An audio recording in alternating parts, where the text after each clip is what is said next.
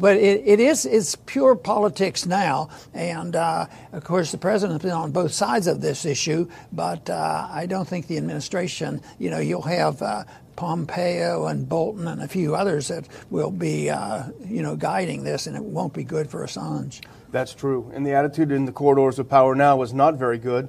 In fact, Senator Manchin. Uh, I think West Virginia tweeted out this morning, "quote We own Assange," Oh, which is uh, pretty disgusting. Uh, and as you say, really, it is up to Trump, really, and, and, and it may come down to whether or not he is going to issue a pardon. He's on record probably a hundred times saying, "I love WikiLeaks." He said it in Wilkes-Barre, Pennsylvania, during the campaign. But the problem is, all Trump's people, all of his top people, want Assange dead. Uh, in fact, literally. Uh, and this goes, okay, number one, Pence. He was actually in Ecuador last year. Of course, the Ecuadorians, they want a big IMF loan. We need some money. Uh, the, the, the president who gave Assange asylum uh, was replaced by a president who wants to make a deal. So Pence went over there and made a deal. Hey, cancel uh, Assange's asylum and you'll get your IMF loan. And of course, he bit on it. Pompeo, of course, he was a CIA director back in 2017 when he gave a, an unbelievable speech at CSIS. Here's a couple of things he said. And in fact, we had Assange himself at our conference that summer where he talked about these quotes. Uh, Pompeo said WikiLeaks is a non state hostile intelligence, often abetted by state actors like Russia. To give them the space to crush us with misappropriated secrets is a perversion of what our great Constitution stands for. It ends now. Boy. Very chilling. Sa- scary stuff. You know, uh, Ellsberg did not have to go to prison, and he, in a way, won. Uh, except he won on a technicality on the way the proceedings go. So this this means that Assange needs the best attorneys uh, available, and at least back then they were willing to be judicious enough that if they were breaking the rules in the process, that uh, they couldn't convict him under those circumstances. But uh, whatever that, that can be done. But I'm sure, I'm sure he needs money for his attorneys and Yeah. everything else. And I'm, I bet it's not difficult to find out how you can directly help him. But I think. The, pub, the public pressure is the most important thing to, to talk to uh, to our representatives because if they think nobody cares, they're not going to care. And uh, right now, I have no good feeling for uh, how Congress would even come down on this. I think, I think uh, right now, my estimate would be, from my experience here, and would be whatever is safe. Yeah, whatever is politically safe, which means that they need to hear noise. They need to hear noise, and they better not say, "Yeah, we have to vote to extradite him and do this and try him and do all these things." But uh, they should realize that it isn't automatically politically safe to just pile on and say, "Well, he, he committed, tre- you know, treason and he's disloyal to the United States and all these all these arguments," and uh, and forget about seeking out the truth.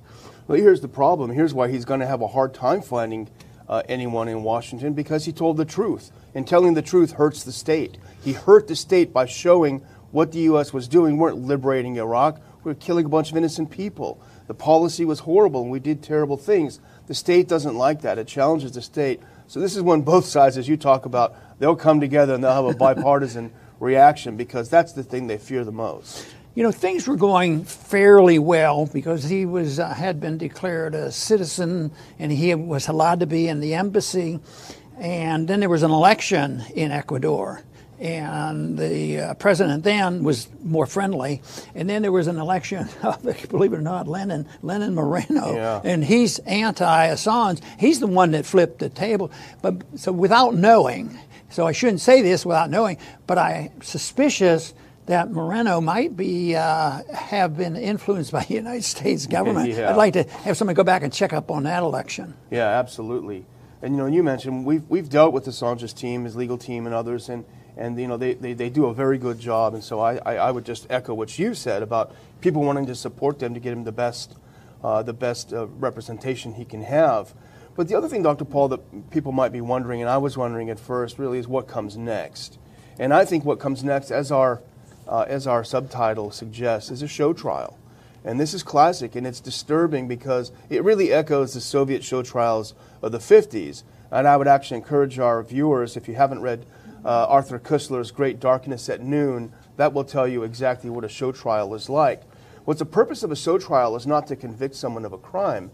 The purpose of a show trial is to tell the rest of the people in the country, don't you dare do anything like this person did, or you're going to get it.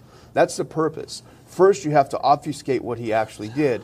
We're already seeing that, Dr. Paul. They say it's not about press freedom, it's about hacking. They were hacking. That's the illegal part. They want to obfuscate what he did. Then they want to demonize him to the public. That's an important phase. Uh, they'll put they'll put out more salacious details, sexual, embarrassing details. I bet they'll put out some financial impropriety to divide people against him. That's important. And then at the end, when all this is done, there can only be one verdict. You know, and I, I have a good friend of mine who lived in Albania during communism, and he told me how the trials go. And of course, this is exactly what they do. And at the very end, the people's prosecutor says, I'm sorry, the comrades have all said, the people have said you're guilty. How can I rule against the people? and that's exactly what we're going to see here. And it's, uh, it's really disturbing and disgusting. Well, there's, there's one thing we don't have to worry about, and this, this is a positive. There's a setting of an example uh, by uh, Assange as well as Chelsea Manning. And that is the tradition in a show trial is they work real hard on signed confessions. And uh, then they go ahead, yes, you've signed it, you've confessed, and you think that's going to help them get off and uh, be excused. No, that's usually when they go ahead and, and do the final final solution. Yeah. And this final solution could be life in prison. Uh, so, so they, they, I wouldn't be surprised, but we don't have to worry about it.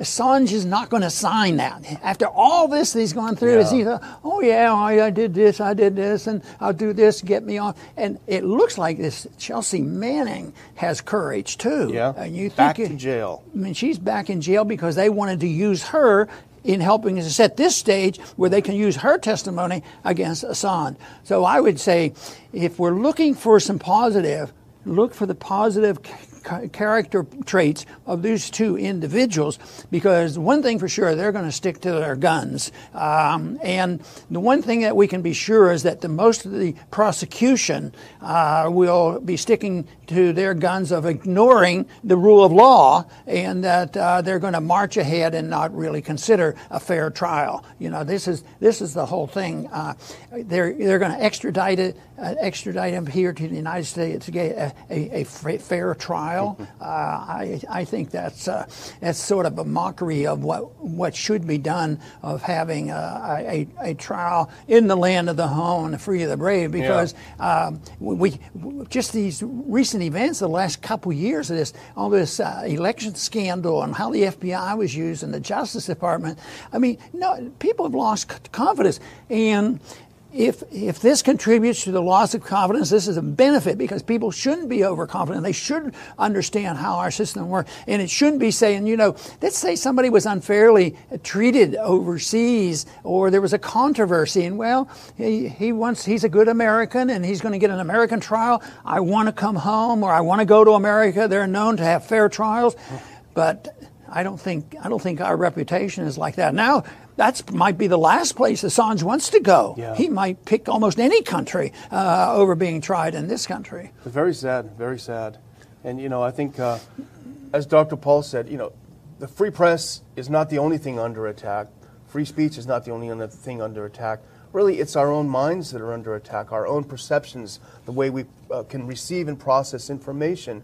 If learning the truth about what our government does is illegal, then we have no way of challenging. Then we truly live in a complete totalitarian system where not only do we not oppose the government, we can't even think outside the box. So I would just echo what Dr. Paul says. If you've ever considered contacting your representatives respectfully, contacting the, the White House respectfully, writing letters, alerting your friends, this is going to take a sustained effort, not just a day or two, a sustained effort.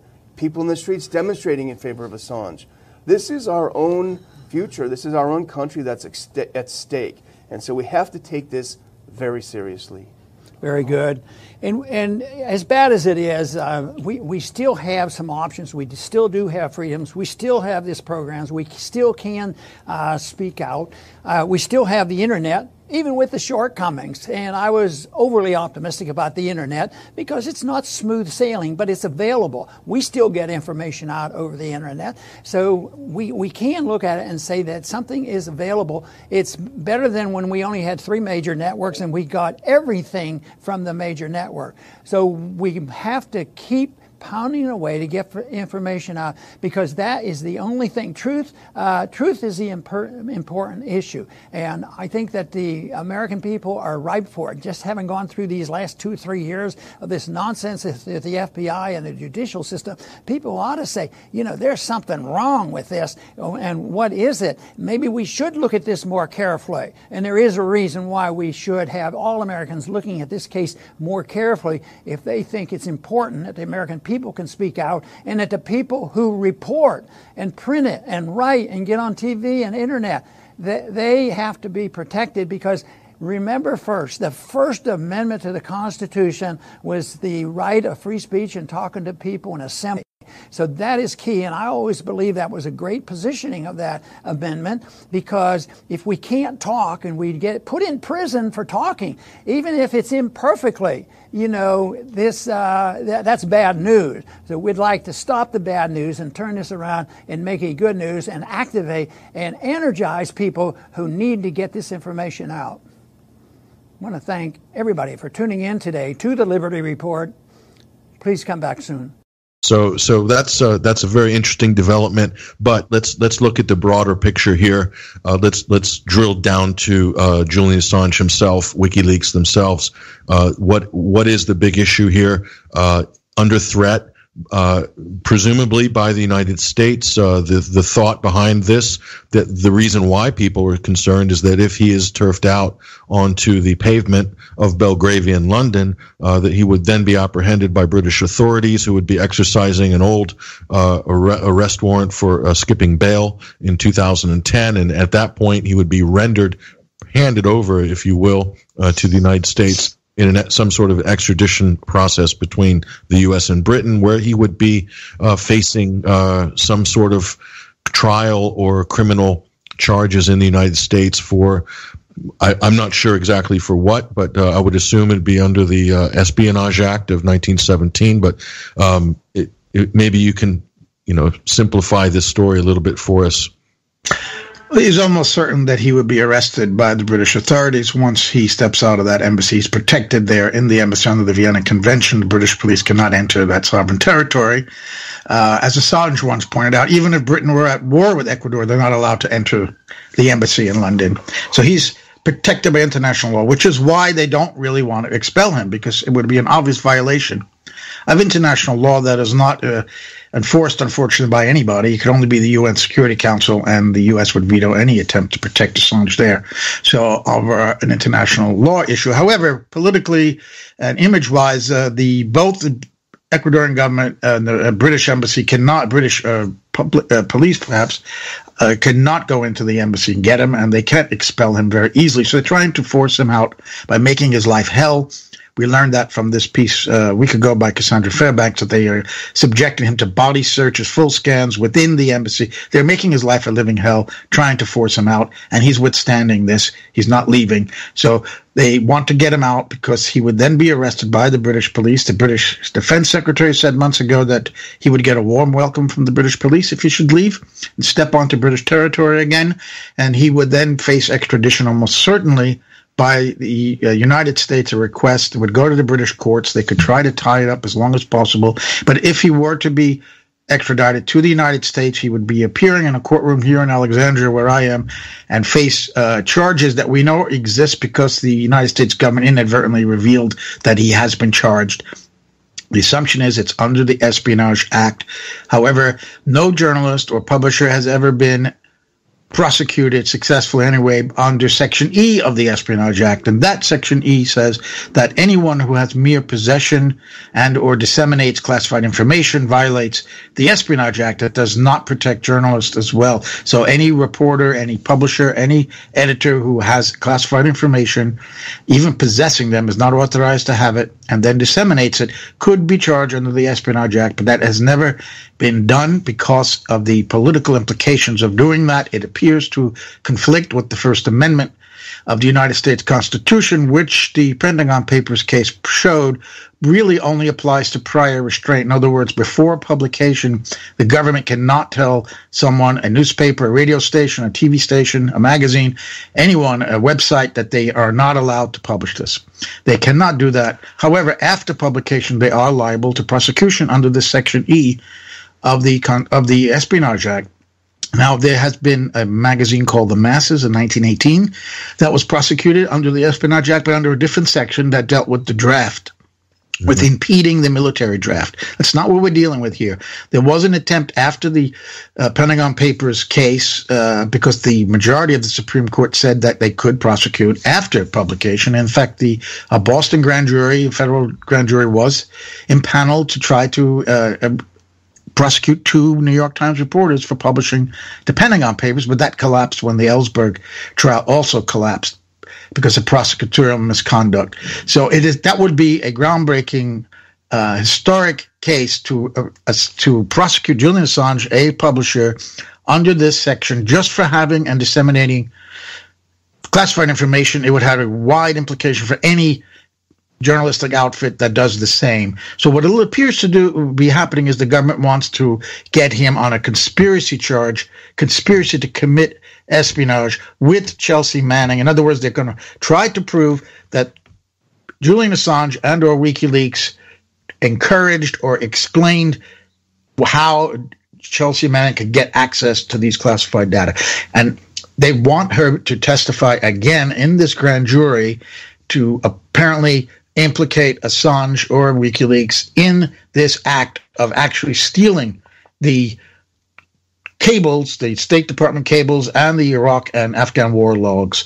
She testified in her trial that she did it all on her own and she has takes full responsibility. She was jailed for 35 years. Obama commuted her sentence after seven years. She's free, and then she was subpoenaed to testify against Assange in this ongoing grand jury in Alexandria. She refused.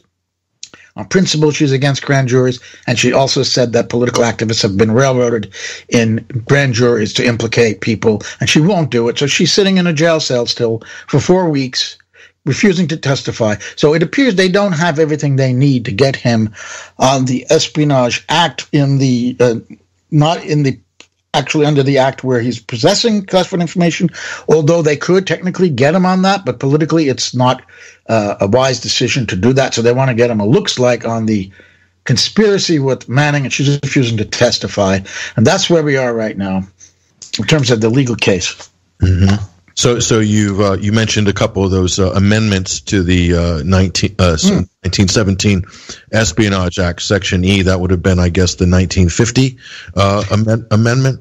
No, that belo- that was in the original act. What oh, was amended are- was in 1961. They made it a global treaty. The original Espionage Act only uh, made someone liable for prosecution if they committed this act of alleged espionage on U.S. territory or on the high seas. And it was extended to the entire world because people say, well, how could Assange, who's an Australian and Ecuadorian citizen, not an American, who's publishing from outside the United States, who is currently living in the UK, how could U.S. law apply to him? And that's because of this 1961 amendment.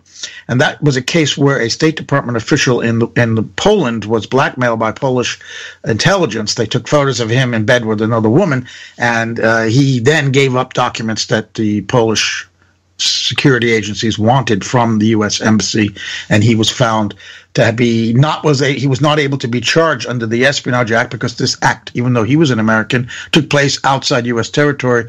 So this congressman had the law changed, and now it applies to everybody anywhere in the world. So that's how Assange could be still liable under the Espionage Act because of that amendment, 1961.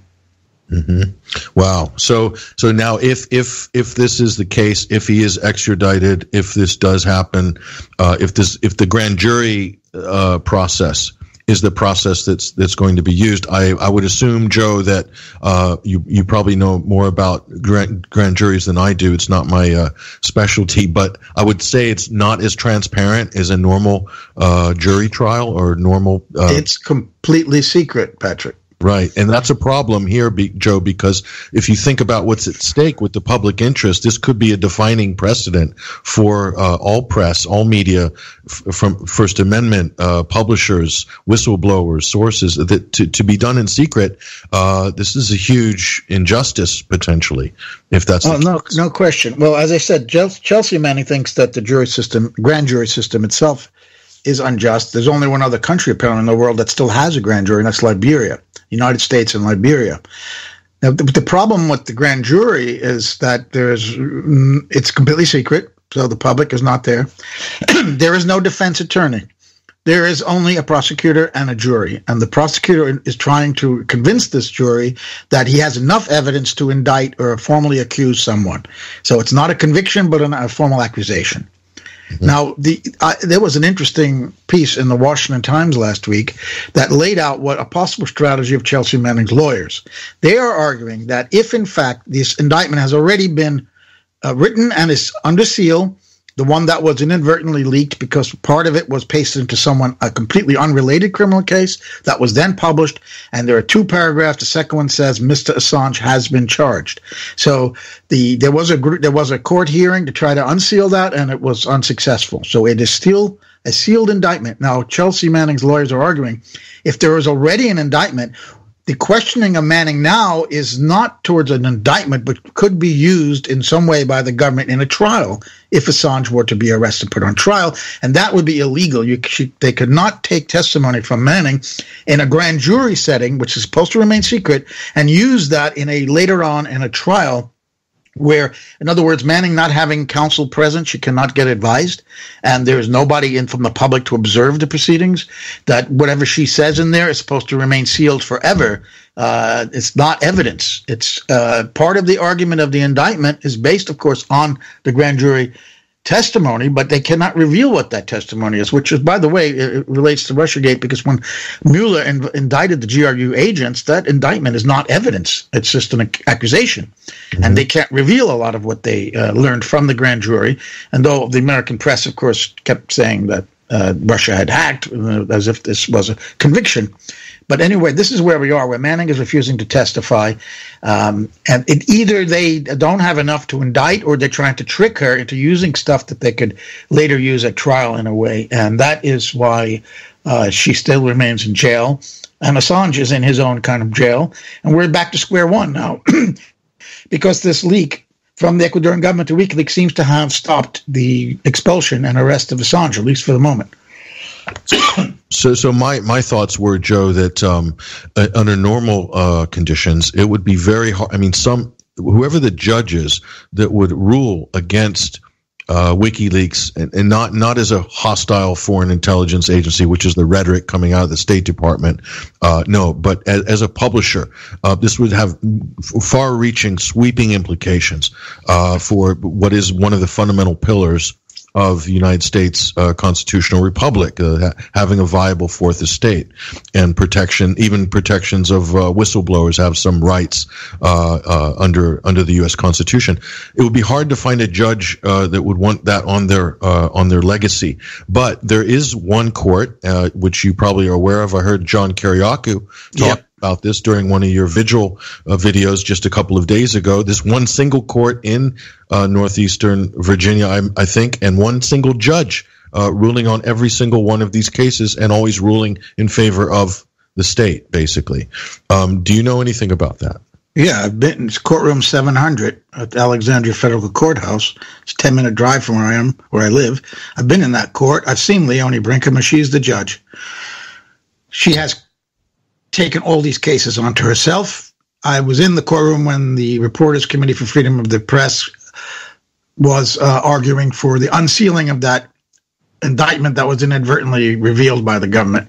So I've seen her in action. She's extremely thorough, and she and you knew which how she was going to rule. She took about two months, and she finally ruled, of course, in the favor of the government that they never actually ad- have admitted that this indictment exists formally, so therefore, it, since we don't know if it exists or not, I cannot unseal it, order it unsealed.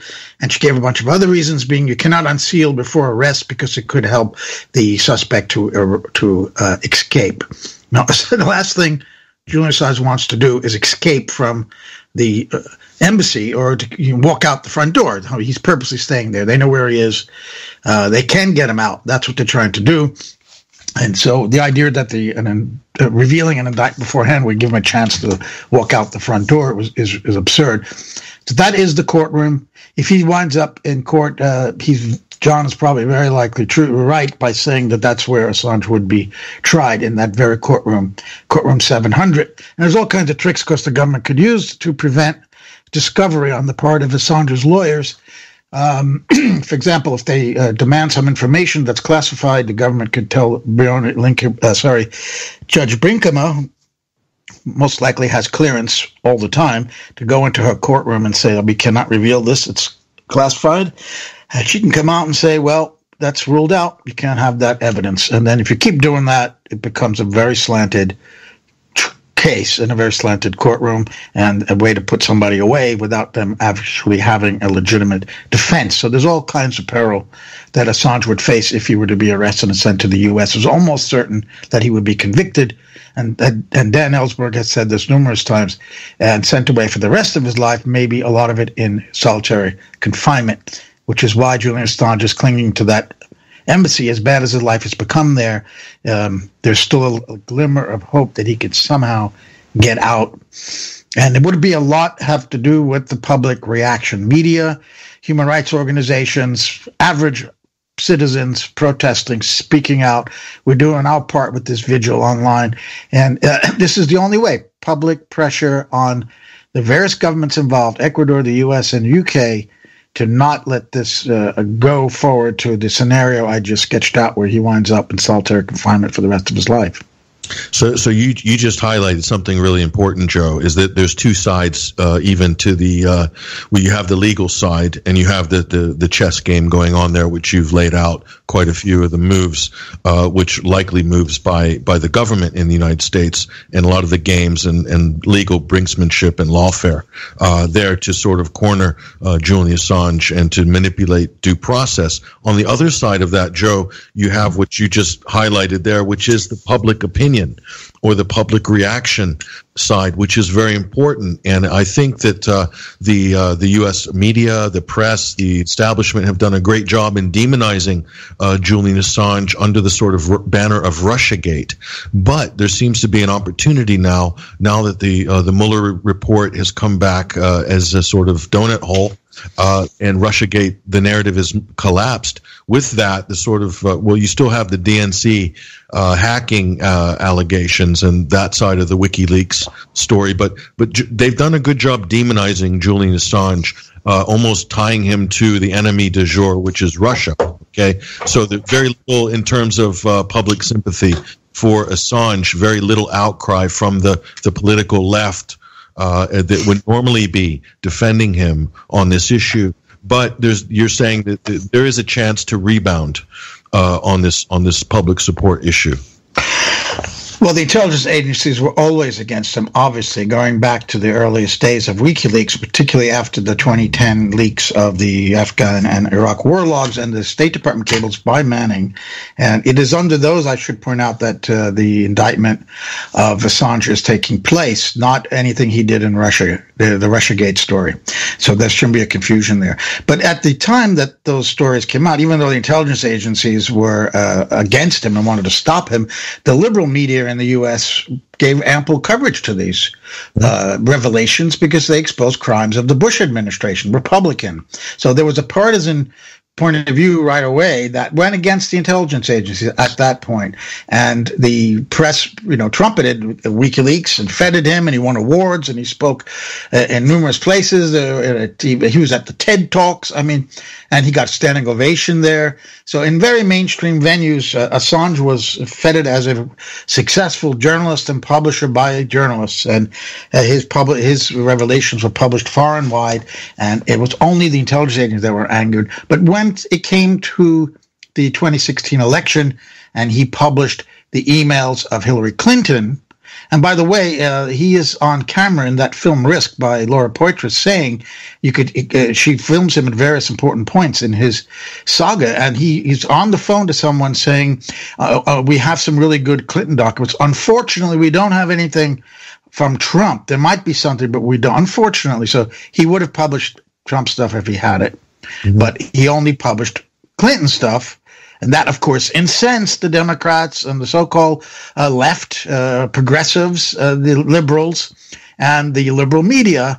They went against him. And of course, the intelligence agency was saying, wow, that's great. Finally, we have the dominant liberal media on our side because they're going after their her their their champion, and their queen, Hillary Clinton, and that's when we got this alliance between liberal media and the intelligence agencies to really demonize Assange. And, and Russia, of course, and link them together. The whole collusion narrative, which we now know, which was absolutely we knew that people like you and me patrick from the very beginning. We were writing and saying this that it was a, a, completely made up story the collusion. So that has now been confirmed that it was made up but they start to demonize him for partisan reasons and that hasn't changed yet.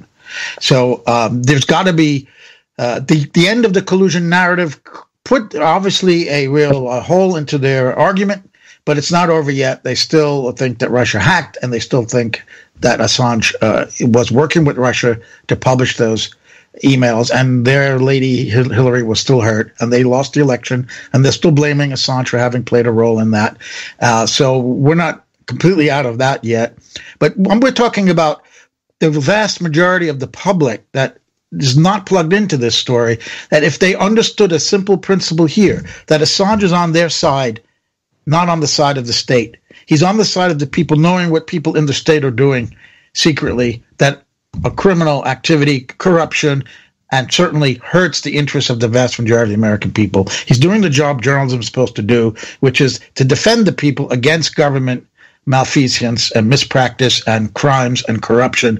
And the established media is not doing nearly a good enough job exposing that.